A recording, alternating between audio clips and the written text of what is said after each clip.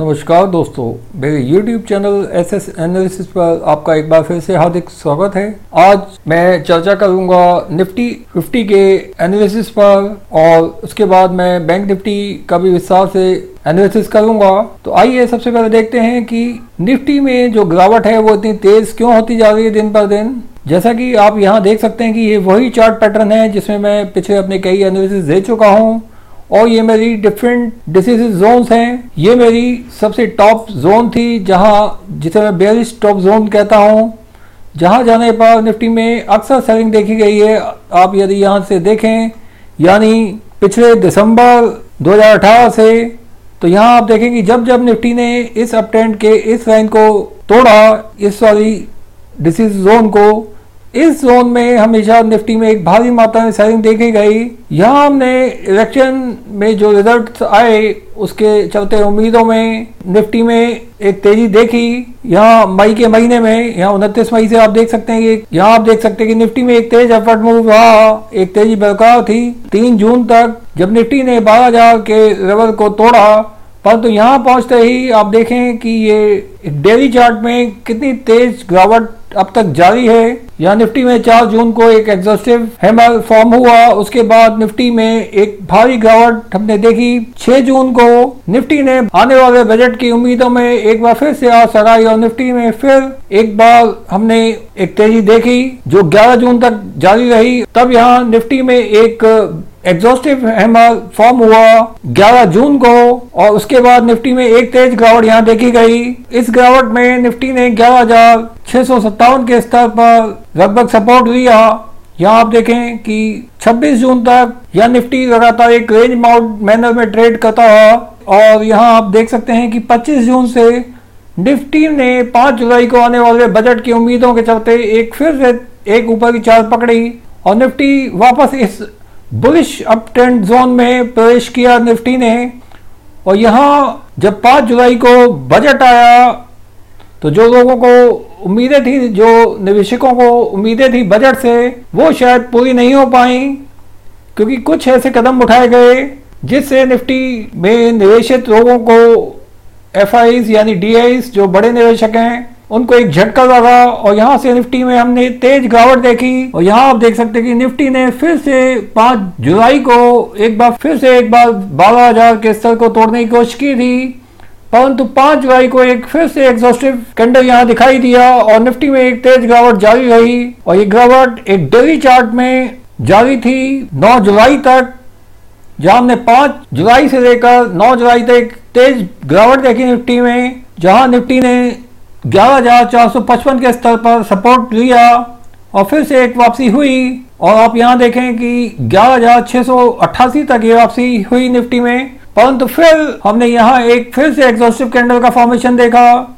सत्रह जुलाई को और सत्रह जुलाई के बाद हमने अठारह जुलाई से एक भारी बिकवारी निफ्टी में देखी जा रही है। एक डेली चार्ट में एक कैंडल एक दिन की मूवमेंट को रिप्रेजेंट करता है। तो यहाँ आप देख सकते हैं कि निफ्टी में, यहाँ निफ्टी में 18 जुलाई से 18 जुलाई को ग्यारह से निफ्टी ने नीचे ग्यारह तक नीचे एक मार की। उसके अगले दिन, यानी 19 जुलाई को, यानी फ्राइडे को निफ्टी ने फिर से एक ऊपर से शुरुआत की, यानी ग्यारह हज़ार छह सौ तीस के आसपास से, परंतु यहाँ निफ्टी में एक भारी सेलिंग देखी गई, जहाँ निफ्टी ने ग्यारह तक नीचे निफ्टी आया है। यदि मैं आपको जूम करके दिखाऊँगा तो आपको पता लगेगा कि निफ्टी में ये एक तेज गिरावट आगे क्या संकेत दे रही है। तो यहाँ मैं निफ्टी में 22 जुलाई को, यानी सोमवार को एक गैप डाउन देखता हूँ, जहाँ निफ्टी ग्यारह हज़ार तीन सौ के लेवल तक एक गैप डाउन दे सकता है। और यदि निफ्टी ग्यारह हज़ार चार सौ दो के स्तर पर ओपनिंग भी हुई निफ्टी में, हमने देखी तो भी निफ्टी में एक भारी दबाव, एक सेलिंग प्रेशर देखा जाएगा, जो कि निफ्टी को नीचे ग्यारह हज़ार तीन सौ के लेवल तक धकेल सकता है। सिर्फ़ सोमवार को ही निफ्टी एक तेज गिरावट देख सकता है। ये गिरावट आने वाले अगले दो ट्रेडिंग सप्ताहों तक जारी रह सकती है। जहाँ निफ्टी में फिर से एक उछाल देखा जाए परंतु निफ्टी उस स्थिति में जब निफ्टी इंपॉर्टेंट सपोर्ट लेवल्स को तोड़ जाता है जैसा कि 11,600 के इंपॉर्टेंट सपोर्ट लेवल को तोड़ा यहाँ निफ्टी ने यहाँ आप देखें कि जब निफ्टी ने 8 जुलाई को जब इस इंपॉर्टेंट सपोर्ट लेवल को तोड़ा था 11,600 के जो कि बजट के आने से पहले निफ्टी का एक इंपॉर्टेंट सपोर्ट लेवल रहा है ग्यारह का आप यहाँ ध्यान से देख सकते हैं कि जब निफ्टी ने 8 जुलाई को इस सपोर्ट लेवल को तोड़ दिया तो फिर से ये सपोर्ट लेवल जब निफ्टी नीचे आ जाता है सपोर्ट लेवल के तो अब ये रेजिस्टेंस लेवल बन चुका है पूरी तरह से। जब निफ्टी ने बार बार इस लेवल को तोड़ने की कोशिश की, परंतु निफ्टी ने भारी सेलिंग अब देखी जा रही है, क्योंकि ग्यारह हज़ार छह सौ अड़तालीस का जो सपोर्ट लेवल था बजट से पहले वो अब फिर से एक बार एक अहम रेजिस्टेंस लेवल बन चुका है निफ्टी के लिए। जैसा कि आप यहाँ देखें कि इस लेवल को तोड़ने की निफ्टी ने कई बार पहले भी कोशिश की 2 अप्रैल को, और यह निफ्टी लगातार कोशिश करता रहा इस स्टिफ रेजिस्टेंस को तोड़ने की, और परंतु फाइनली नीचे आया। इन लेवल्स तक यानी ग्यारह हज़ार 145 तक, जब निफ्टी ने इस रेजिस्टेंस लेवल को एक गैप अप के साथ इस रेजिस्टेंस लेवल को पार किया। यहाँ पर, यानी 20 मई को, आप यहाँ देखें तो निफ्टी ने इस लेवल पर फिर से कई बार सपोर्ट हुई ग्यारह हज़ार छह सौ अड़तालीस के लेवल पर। यहाँ आप देख सकते हैं कि निफ्टी बजट के आने से पहले बार बार इस लेवल पर, यानी ग्यारह हज़ार छह सौ अड़तालीस पर एक अच्छी सपोर्ट निफ्टी को मिल रही थी गिरावट में। परंतु 8 जुलाई को निफ्टी ने फाइनली इस सपोर्ट लेवल को तोड़ दिया है। ग्यारह के अब निफ्टी के लिए ये सपोर्ट लेवल एक रेजिस्टेंस में फिर से कन्वर्ट हो चुका है, जैसा कि ये यहाँ पर था। अब हम निफ्टी को इस लेवल इस रेजिस्टेंस लेवल को तोड़ने की उम्मीद कम से कम मुझे तो नहीं है कि निफ्टी में कोई ऐसा पॉजिटिव न्यूज़ फ्लो आ जाए तो ही निफ्टी इस इमीडिएट रेजिस्टेंस लेवल को तोड़ सकता है। परंतु यहाँ, जैसा कि आप देख सकते हैं कि निफ्टी ने फिर से एक बार कोशिश की ग्यारह हज़ार छह सौ अड़तालीस के लेवल को तोड़ने की सोलह जुलाई को, परंतु यहाँ काफ़ी रेजिस्टेंस हुई, परंतु हमने फिर से यहाँ सेलिंग शुरू होती हुई देखी 18 जुलाई से, और ये सेलिंग कंटिन्यू रही इन लेवल्स के नीचे, जिसने निफ्टी को इन लेवल्स तक धकेल दिया है। जहाँ मुझे अब उम्मीद है कि ये लेवल अगर टूट गया, जो कि बहुत अहम लेवल है निफ्टी के लिए तो निफ्टी के लिए फिर से ये लेवल यानी ग्यारह हज़ार तीन सौ अट्ठासी का जो लेवल है, यदि ये टूट जाता है नीचे की गिरावट में तो निफ्टी के लिए यही लेवल फिर से एक बार रेजिस्टेंस में कन्वर्ट हो जाएगा।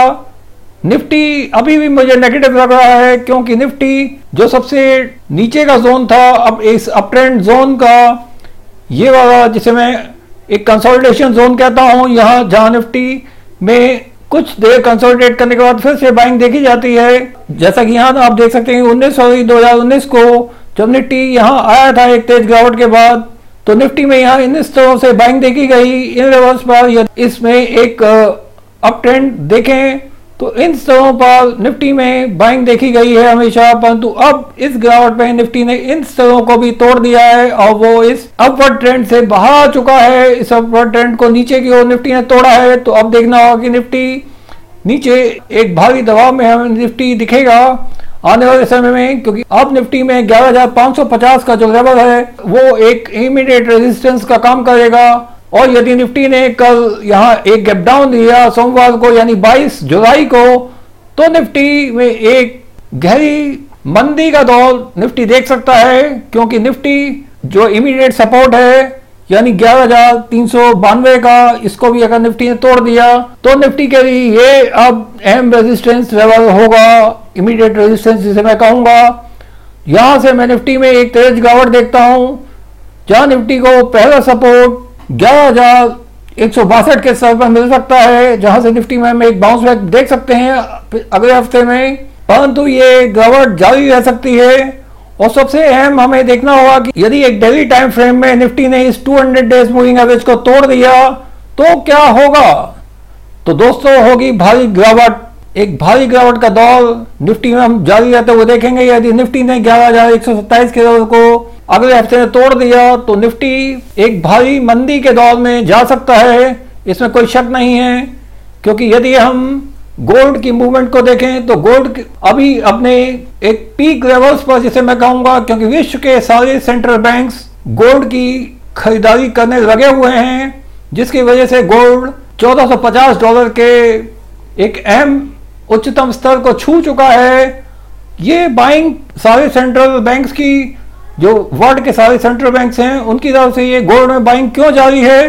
क्योंकि उन्हें आशंका है कि अब पूरा विश्व एक मंदी के दौर में जाने वाला है। सभी सेंट्रल बैंक्स को ये उम्मीद है कि वर्ल्ड की इक्विटी मार्केट्स जल्द ही एक मंदी के दौर से गुजरने वाली हैं। वर्ल्ड के सभी इक्विटी बाजारों में एक गिरावट का दौर जारी हो सकता है, जैसा कि शुक्रवार को यूएस के शेयर बाज़ार भी काफ़ी गिरावट के साथ बंद हुए, जो कि अपने उच्चतम स्तरों को छुआ था जिन्होंने पिछले हफ़्ते में, परंतु अब वो उस पी से एक तेज गिरावट, एक आने वाली मंदी को दिखाती है, जहाँ विश्व के सभी सेंट्रल बैंक गोल्ड में लगातार बाइंग जारी रखे हुए हैं। ये एक क्लियर संकेत है कि आने वाले दिनों में भारत के शेयर बाज़ार भी इस मंदी के दौर से बच नहीं पाएँगे। तो दोस्तों, यहाँ सावधान रहना होगा और सबसे अहम हमें देखना होगा कि क्या एक डेली चार्ट में आने वाले हफ़्ते में निफ्टी इस अहम लेवल को अगर तोड़ गया तो क्या होगा? क्या इस वो इस लेवल पर सपोर्ट देगा या नहीं? यानी ये जो आप यहाँ देख रहे हैं, ये 200 डेज़ मूविंग एवरेज है। जो निफ्टी को एक अहम सपोर्ट प्रदान कर सकती है, जो कि करंटली अभी ग्यारह हज़ार एक सौ सत्ताईस के लेवल पर है, यह निफ्टी अगर बाउंस बैक भी लेता है तो वो एक अपसाइड बड़ी एक लिमिटेड होगी। जो निफ्टी को ग्यारह हज़ार दो सौ साठ के लेवल से फिर से एक बार निफ्टी में सेलिंग देखी जाएगी तो दोस्तों, ये मेरा निफ्टी के लिए 22 जुलाई से लेकर 6 अगस्त तक का एक एक्सपेक्टेड मूविंग जोन है। जहाँ निफ्टी इन लेवल्स पर एक अप डाउन दिखा सकता है और मेरा मानना है कि निफ्टी में ये गिरावट निफ्टी को दस हज़ार के लेवल्स तक नीचे धकेल सकती है। तो तैयार रहें निफ्टी में आने वाली उथल पुथल को देखने के लिए। आइए मैं आपको बताना चाहूँगा कि निफ्टी में जो ये एक सेलिंग प्रेशर देखा जा रहा है, ये क्यों है? क्योंकि बैंकों के बढ़ते हुए नॉन परफॉर्मिंग एसेट्स अभी भी एक भारी चिंता का विषय है।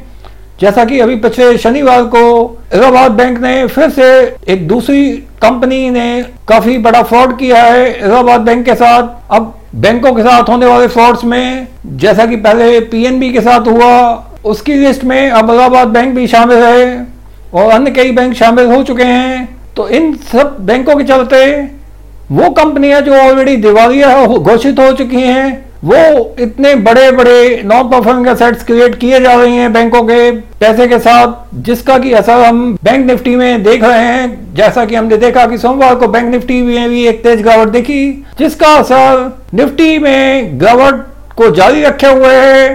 तो बैंक निफ्टी में आया हर मूव अब निफ्टी की दिशा तय करेगा, क्योंकि निफ्टी की हर मूवमेंट अब बैंक निफ्टी के मूवमेंट से प्रभावित हो चुकी है। अब देखना होगा कि भारतीय सरकार इस दिशा में क्या कदम उठाती है।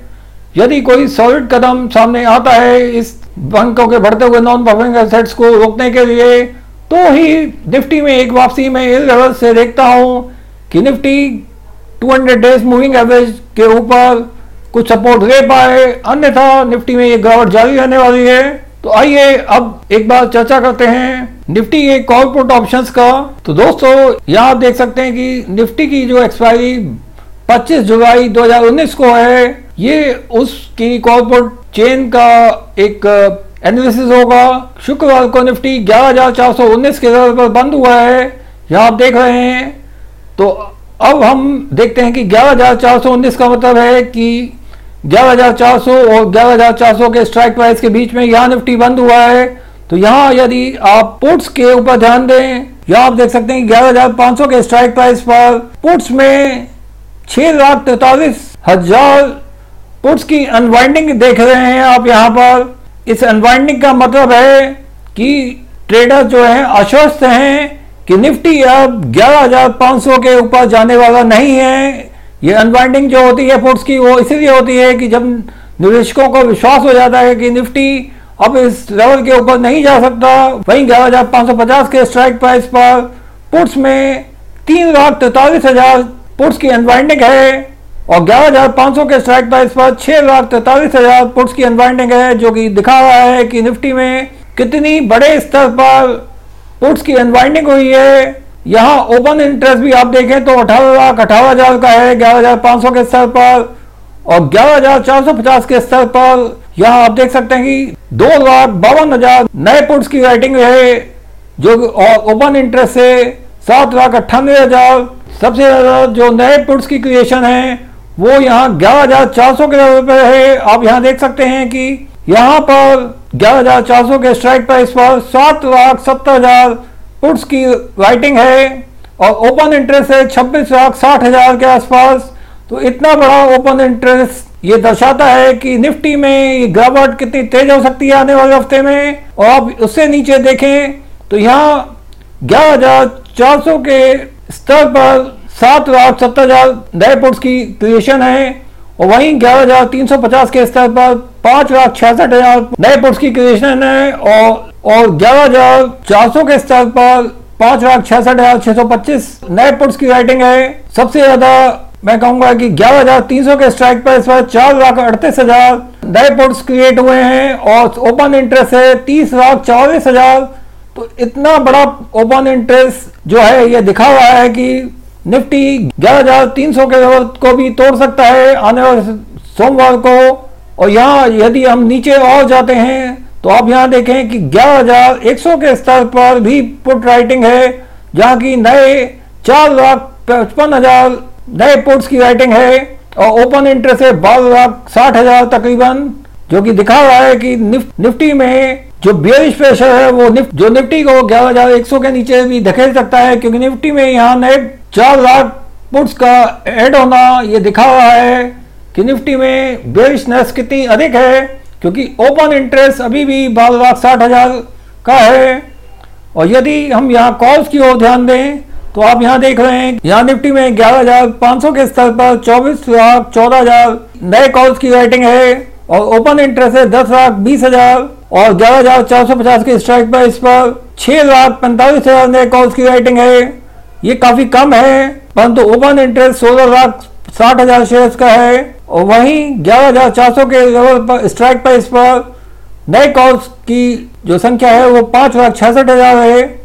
तो यहाँ देखें कि कोई ज़्यादा उत्साह नहीं दिख रहा, यानी यहाँ कॉल्स की अगर वो ध्यान दें तो यहाँ ग्यारह हज़ार छह सौ के स्ट्राइक प्राइस तक कॉल्स की अच्छी राइटिंग है, यानी यहाँ ग्यारह हज़ार छह सौ के स्ट्राइक प्राइस पर सत्तर लाख पचास हज़ार नए कॉल्स एड हुए हैं और ओपन इंटरेस्ट है पंद्रह लाख सत्रह हज़ार, जहाँ की मुझे लगता है कि ये एक ऊपर की स्थिति में ये ग्यारह हज़ार छह सौ का स्तर एक, स्टिफ रेजिस्टेंस का काम करेगा यहाँ, परंतु यहाँ नीचे के गिरावट में निफ्टी को मैं यहाँ ग्यारह हज़ार एक सौ के लेवल तक देख रहा हूँ, नीचे गिरते हुए, क्योंकि यहाँ यदि पोर्ट्स की स्थिति देखें तो जो पोर्ट्स की, जो नए पोर्ट्स की क्रिएशन है, वो काफ़ी हैवी है इन लेवल्स पर। आइए अब बात करते हैं बैंक निफ्टी के एनालिसिस पर। यहाँ आप जो देख रहे हैं, ये बैंक निफ्टी का एक डेली चार्ट है। यहाँ आप देख सकते हैं कि बैंक निफ्टी में शुक्रवार को, यानी 19 जुलाई को एक तेज गिरावट हमने देखी और ये गिरावट, आप यहाँ से देख रहे हैं कि ये जो बैंक निफ्टी में जो गिरावट है, ये इकतीस हज़ार सात सौ के लेवल पर जब बैंक निफ्टी ने यहाँ छुआ था, अंतिम बार, यानी चार जुलाई को बजट के चलते जो उम्मीदें बनी थी, वह बैंक निफ्टी में फिर से पाँच जुलाई से लगातार गिरावट जारी है। और यहाँ देखें कि एक स्ट्रेट डाउनफॉल दिखाता है कि बैंक निफ्टी में जो बढ़ते हुए नॉन परफॉर्मिंग एसेट्स हैं, वो कितने हैवी हो चुके हैं, जिनके बहुत से निफ्टी अब यहाँ नहीं टिक पा रहा और यहाँ फिर से हमने हफ़्ते के आखिरी दिन, यानी 19 जुलाई को एक तेज गिरावट देखी, जिसमें बैंक निफ्टी को नीचे उनतीस हज़ार सात सौ पाँच के लेवल तक धकेल दिया, जहाँ मुझे उम्मीद है कि सोमवार को बैंक निफ्टी एक गैप डाउन के साथ खुल सकता है, जहाँ बैंक निफ्टी को उनतीस हज़ार चार सौ के तक नीचे खुल, एक गैप डाउन के साथ खुलते हुए देख सकते हैं। और सोमवार को ही मैं बैंक निफ्टी को अट्ठाईस हज़ार नौ सौ तक नीचे आते हुए देखूँगा। मेरा मानना है कि बैंक निफ्टी में ये सेलिंग प्रेशर लगातार जारी रहने वाला है। यदि बैंक निफ्टी ने सोमवार को एक गैप डाउन ओपनिंग दी तो हम बैंक निफ्टी में एक भारी सेलिंग देखेंगे, जहाँ बैंक निफ्टी आने वाले हफ़्ते में 200 डेज़ मूविंग एवरेज की सपोर्ट को भी तोड़ सकता है, जो कि अभी अट्ठाईस हज़ार दो सौ पंद्रह पर है। तो देखना होगा, यदि बैंक निफ्टी ने आने वाले हफ़्ते में एक दो ट्रेडिंग सत्र में ही यदि अट्ठाईस हज़ार दो सौ के लेवल को तोड़ दिया तो बैंक निफ्टी एक भारी प्रेशर में रहने वाला है। दोस्तों, अगले पूरे हफ़्ते में जब बैंक निफ्टी को मैं पहला सपोर्ट 200 डेज़ मूविंग एवरेज पर देखता हूँ, अट्ठाईस हज़ार दो सौ के स्तर पर, यदि बैंक निफ्टी ने एक गिरावट में अट्ठाईस हज़ार दो सौ का स्तर तोड़ा तो यहाँ बैंक निफ्टी में एक तेज गिरावट हम अगले हफ़्ते में जारी रहते हुए देखेंगे, जहाँ की बैंक निफ्टी को अगला सपोर्ट मिलेगा छब्बीस हज़ार छह सौ बारह के स्तर पर। और यदि ये सपोर्ट भी टूट गया तो मेरा मानना है कि बैंक निफ्टी को अगला सपोर्ट मिलेगा पच्चीस हज़ार छह सौ के स्तर पर। तो यहाँ हमें देखना होगा कि बैंक निफ्टी क्या सोमवार को एक गैप के साथ खोता है। यदि बैंक निफ्टी ने उनतीस हज़ार चार सौ सत्रह के नीचे गैप डाउन ओपनिंग दी तो बैंक निफ्टी में ये गिरावट जारी रहने वाली है। तो दोस्तों, मेरा ये वीडियो देखने के लिए आपका बहुत बहुत धन्यवाद। यदि ये वीडियो आपको अच्छा लगा हो तो इसे अपने ज़्यादा से ज़्यादा दोस्तों के साथ शेयर करें। Thank you